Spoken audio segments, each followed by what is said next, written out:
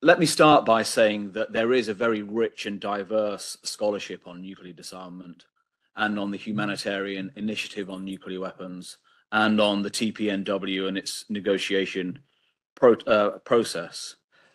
Um, let me see if this will work. Uh, I've also catalogued for the last couple of years uh, much of this research in this searchable database. There's a link to it there. Searchable database of journal articles and books and chapters and NGO reports and videos of events on the humanitarian initiative and the TPNW. Uh, and it's really on, on the basis of having brought lots of this together as a resource for our community that Alexander asked me uh, to bring together uh, and summarize key research findings, as he said, um, on the humanitarian initiative and the TPNW over the last sort of 10, 15 years or so. And the focus here is really on two main categories. Research on the risk of nuclear violence and research on the consequences of nuclear violence. Uh, and there's a link here to the, to the report that's now available online for you. The nuclear risk category, uh, we've broken down into five areas. Um, these are research on assessments of the risk of nuclear violence, research on artificial intelligence and nuclear risk. And I commissioned this from a, a colleague, James Johnson at the University of, of Aberdeen. Um, research on luck and close calls and entanglement, research on psychology and nuclear decision making, and then research on global catastrophic risk and complexity and where the threat of nuclear war sits in with that. On the nuclear consequences category, there are four main areas of research here. Um, research, an extensive body of research on the environmental effects of nuclear detonations, uh, a body of research on the humanitarian effects of nuclear detonations, including testing, research on feeding the world in a nuclear winter scenario, uh, and research in the United States on how federal and local governments could respond to a 10 kiloton nuclear detonation in a metropolitan uh, area.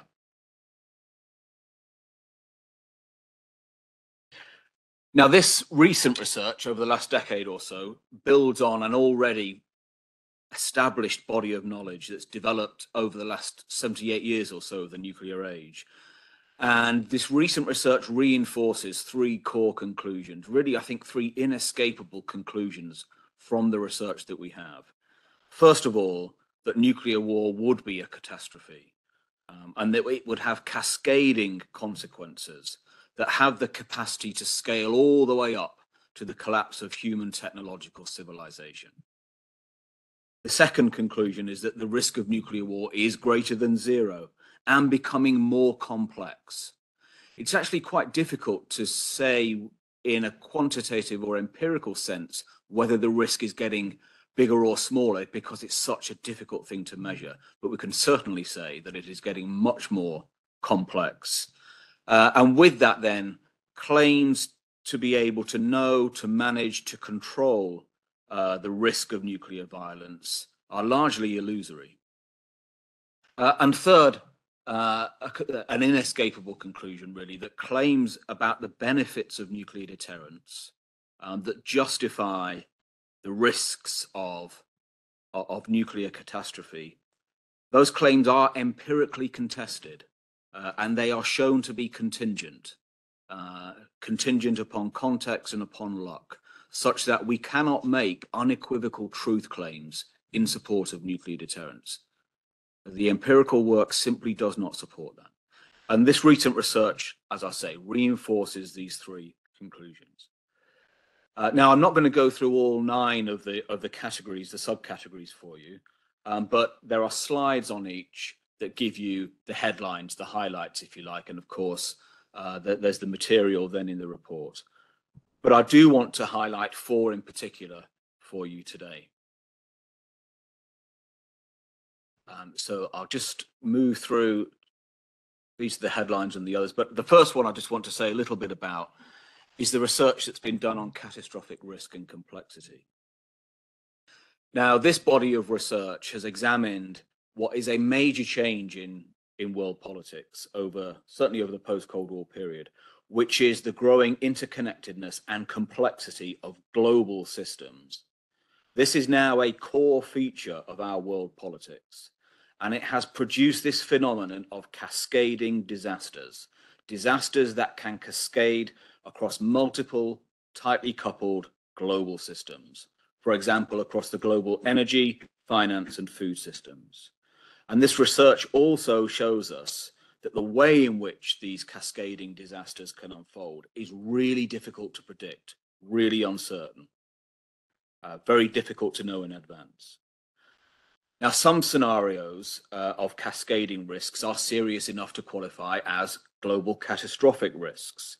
These are risks that threaten human civilization, that are unique to our human experience, and that require proactive and preventive responses to try and reduce them. And of course, nuclear war, the threat of nuclear omnicide, uh, is one such global catastrophic risk. But what this body of, of research on complexity and catastrophic risk shows us is that multiple nuclear detonations, even in small numbers of detonations in a violent conflict, are very likely to cause cascading effects across multiple global systems in very complex and uncertain ways. Uh, and that will cause profound disruption, if not collapse, of one or more global systems. And the key point here, I think, is that this is a very different context to the Cold War. Remember that nuclear deterrence theory that underpins much of the arguments for nuclear weapons by the nuclear weapon states emerged and became cemented and embedded in the 1950s and 60s. The world we live in now, in terms of this tight series of tightly coupled global systems prone to cascading disasters, is quite a different world. Introducing even a small number of nuclear de detonations into this world that we live in will be pretty disastrous. Show that, so the scholarship shows. Uh, the second to highlight then is, is on luck and close calls and entanglement. Uh, now, there is a well-established body of scholarship on nuclear weapons accidents and close calls, including in nuclear crises and particularly the Cuban Missile Crisis. Uh, but there has been new scholarship over this period on the Cuban Missile Crisis, on other crises, using new sources. And the, the, the historiography of the Cuban Missile Crisis is fascinating. Every 15 to 20 years, new information comes out from previously unavailable sources that changes or reinforces how we understand that particular crisis. But new scholarship on new cases as well, uh, all of which reinforces the extent to which political and military leaders have made very serious mistakes in nuclear crises based on misunderstandings, hubris, um, based on an overestimation of the degree to which political leaders think they know and can control uh, a crisis.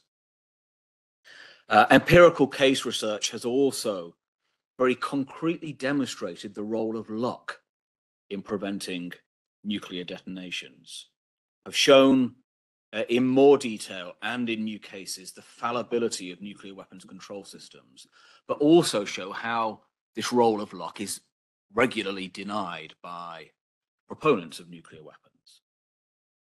Uh, and this body of work has also been supplemented by uh, research on what's been described as the entanglement, the growing entanglement. Again, this is a new phenomenon over the last decade or so. The entanglement in the militaries of nuclear armed states of their conventional and nuclear weapons systems and their command and control and support systems. Uh, this again reflects the challenges of the growing complexity of the global security environment in which nuclear weapons are embedded.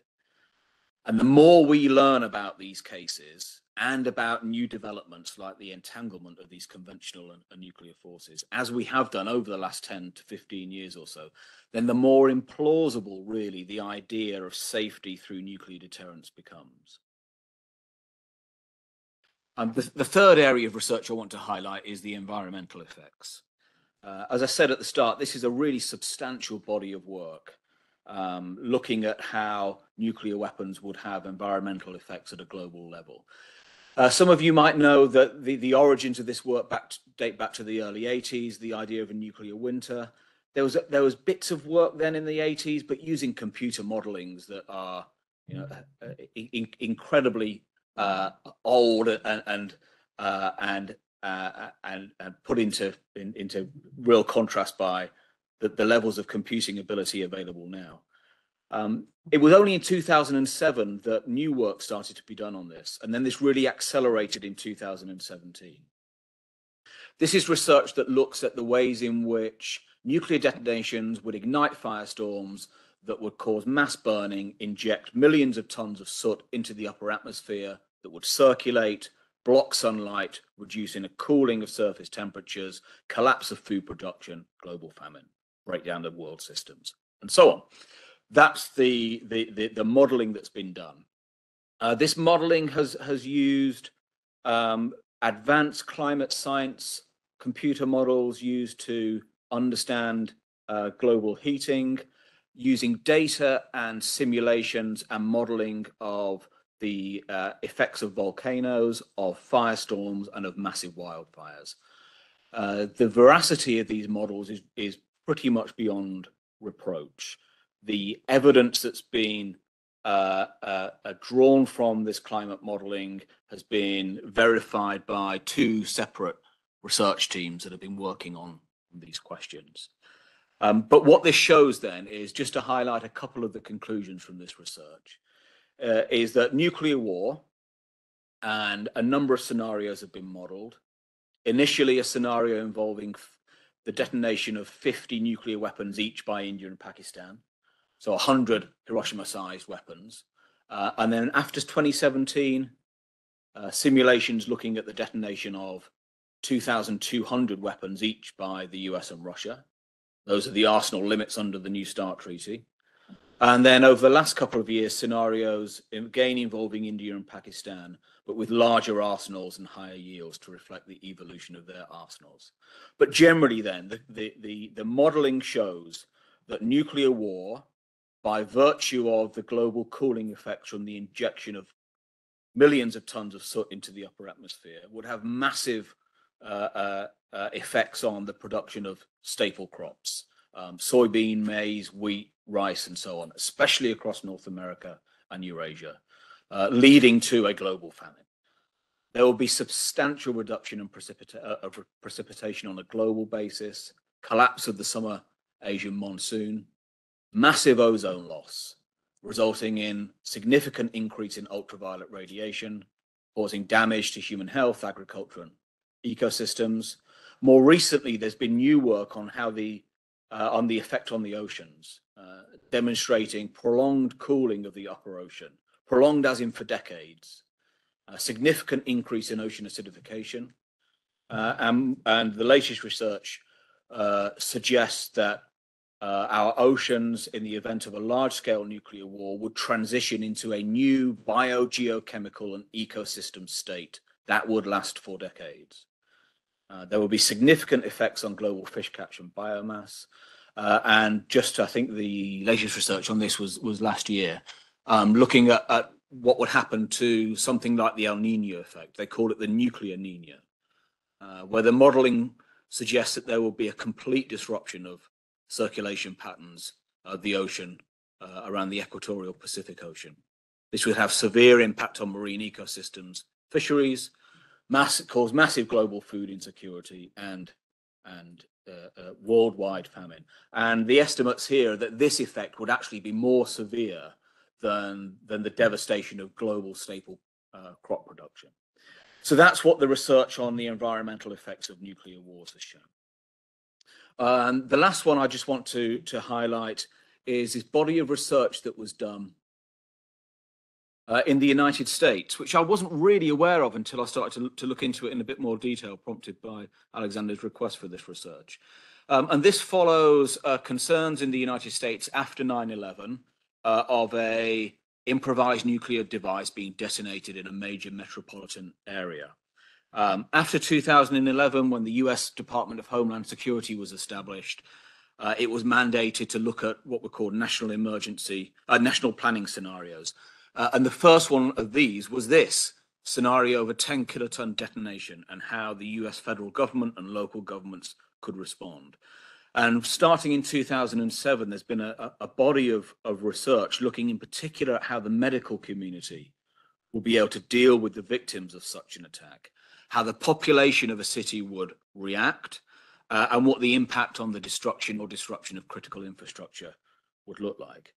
Uh, and it will probably come as no surprise to you to, to, to understand the conclusions were that it would be extremely difficult, if not impossible, for the federal government to mount any sort of meaningful response within the first 24 to 48 hours. There will be no hope for those in the innermost zone of destruction and immediate radiation.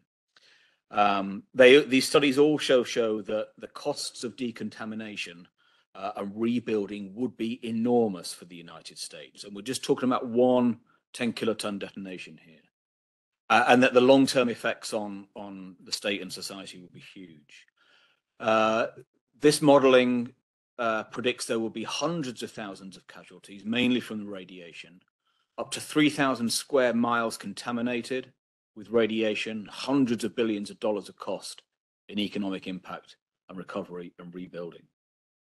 Uh, the studies show that local healthcare will be completely overwhelmed. There will be no real meaningful treatment for uh, hundreds of thousands uh, of victims of trauma, burn, radiation, uh, and particularly for the thousands or more likely tens of thousands of victims that had third degree burns uh, and, and, acute radiation syndrome. There just isn't the capacity, and there's no capacity to mobilize such a capacity. It doesn't exist now, and it can't be mobilized and created.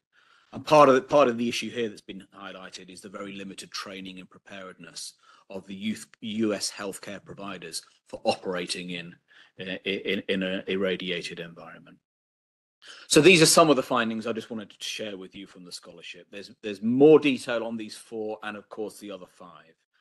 Um, I just want to say a few things too about what I think of the the importance of this knowledge, and Alexander alluded to a bit of that at the start, uh, in terms of why this sort of academic research is important. Um, generating new knowledge like this, I think, is is really important for us for, for these four reasons. Aren't the only four reasons. I'm sure some in the room will have will have ones to add.